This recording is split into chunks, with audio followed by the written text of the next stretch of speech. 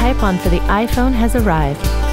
Now you can type on your photos, move, scale, and rotate, choose colors, select your typeface, and create multiple texts.